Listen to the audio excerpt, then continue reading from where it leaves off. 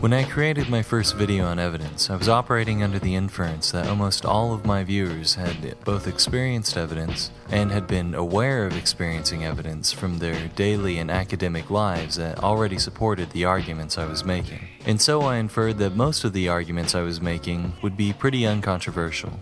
As I discovered from some of the critiques I received in the comment section and video responses, however, I was quite mistaken in that inference. So before moving on to the next part, I'll respond to some of these criticisms and shore up the arguments I made in the first video. Not that this is a bad thing. Responding to these criticisms strengthens the comprehensiveness of the foundations of evidentialism. To begin my epistemological journey, I made two provisional assumptions. I exist, and my senses are sometimes accurate. These provisional assumptions might be wrong, they're just hypotheses. But if I don't assume them, I have nowhere to go epistemologically. I would have no power to infer anything about the world around me.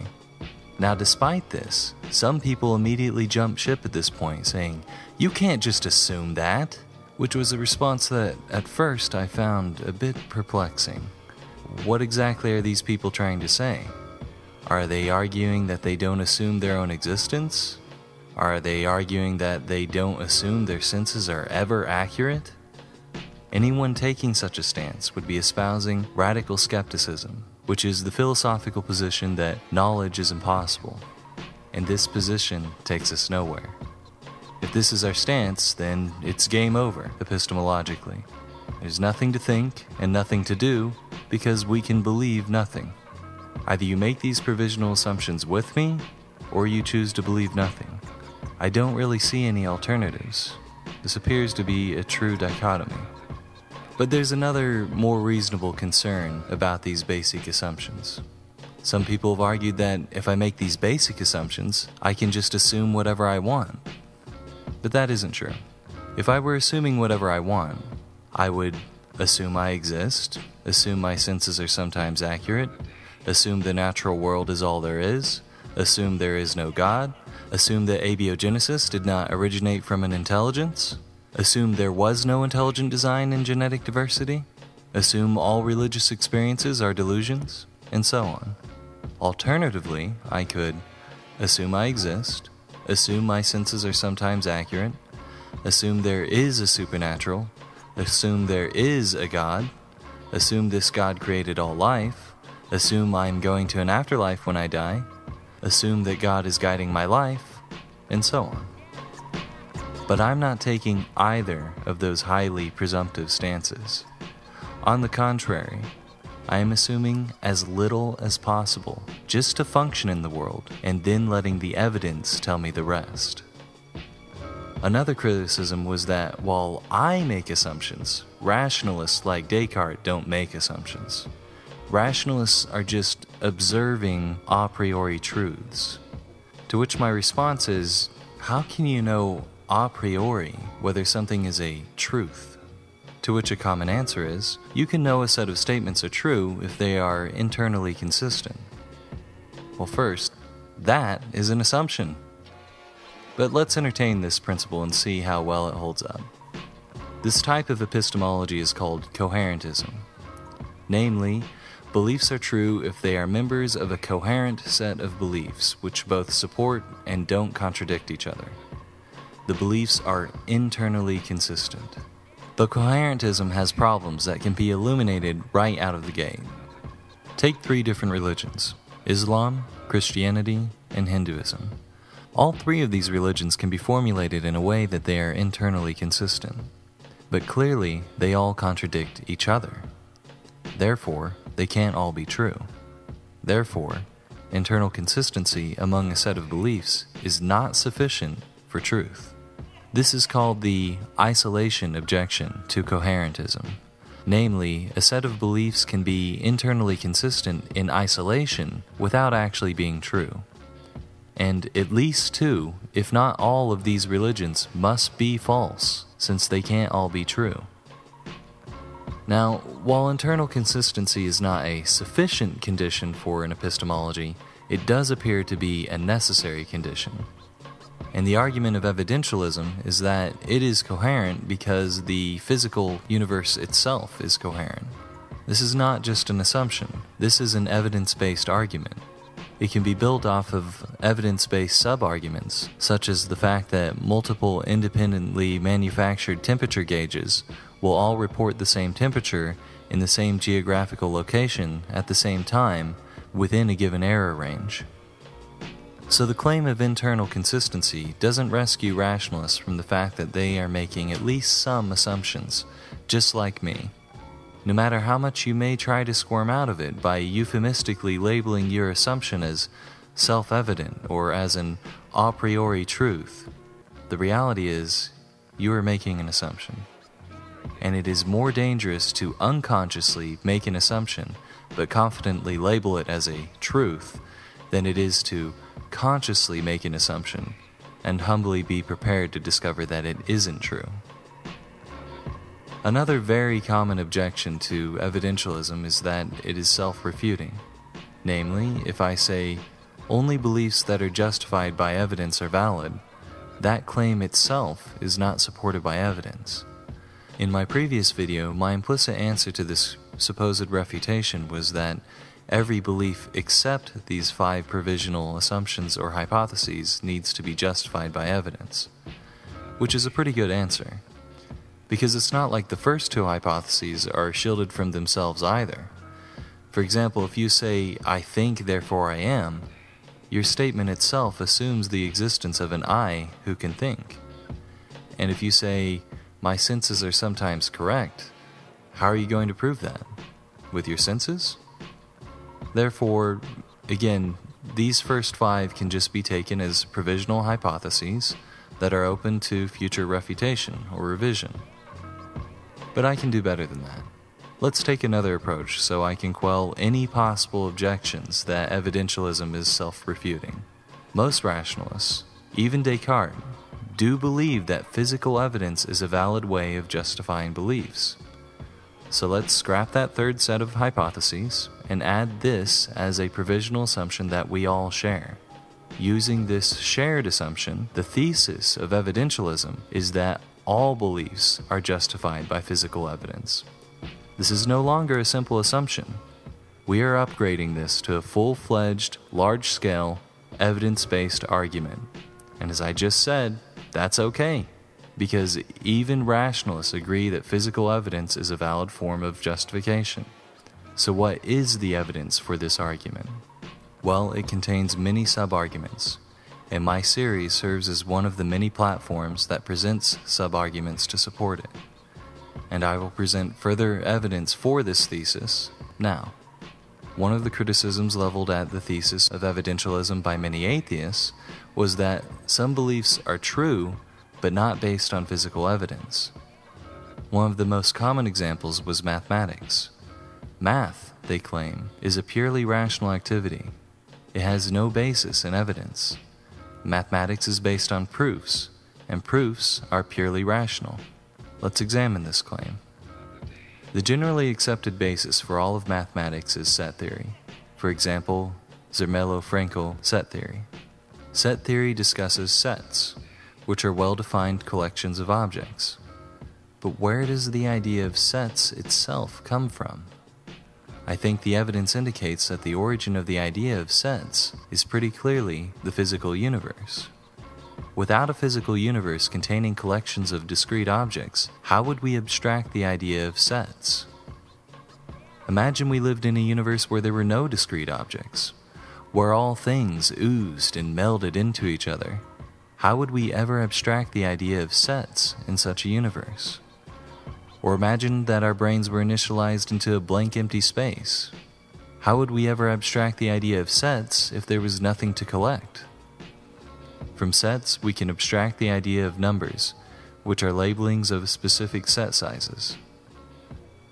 From numbers, we can abstract the idea of addition, which is the combination of subsets, subtraction, which is the removal of subsets, multiplication, which is the duplication of a single set a specific number of times to form a superset. Division, which is the uniform distribution of a single set into a specific number of subsets. Squares, which are the multiplication of a number times itself. Square roots, which are the inverse of this operation. Infinity, which is the abstraction of imagining what would happen if we started adding and never stopped. Negative numbers, which are an abstraction from positive numbers by imagining they stretched into infinity in the opposite direction. And because when two square roots of the same number are multiplied, they reproduce that number, we can then abstract to the idea of an imaginary number, the square root of negative 1.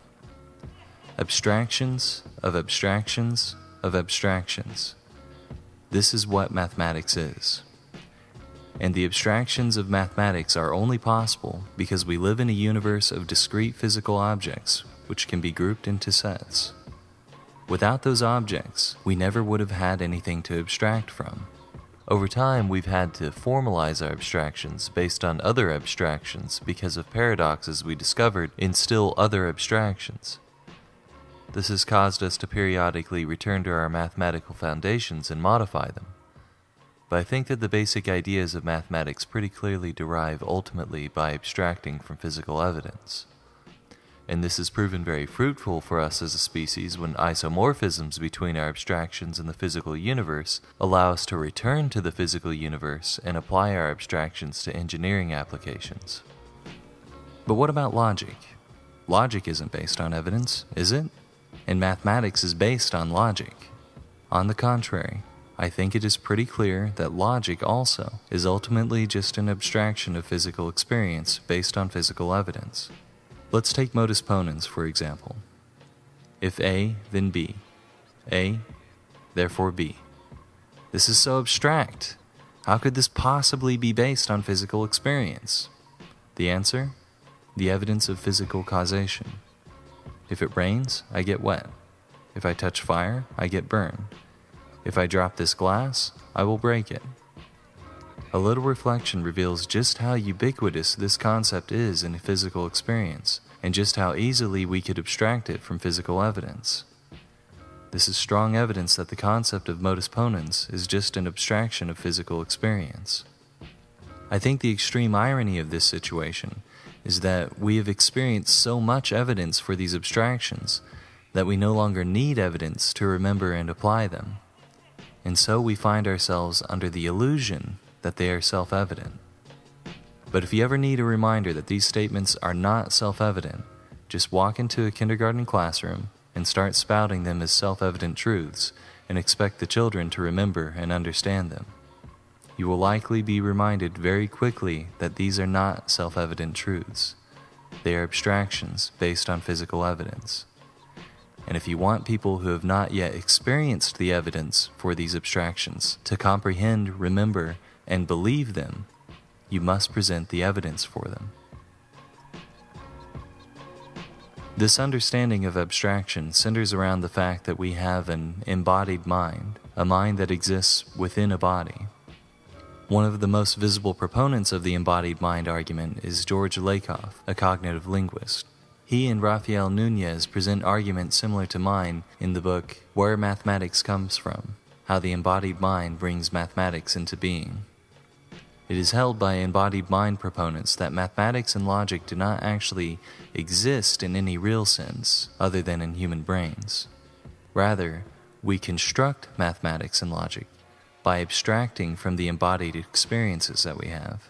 In other words, from the physical evidence we experience. I think this argument has profound implications for the teaching of abstract disciplines like mathematics, because teachers with a rationalist approach will likely focus on memorizing abstract mathematical truths as if they are self evident. But teachers with an evidentialist approach will focus on presenting examples that justify the abstractions. The evidentialist will present both the abstraction and the evidence it is based on.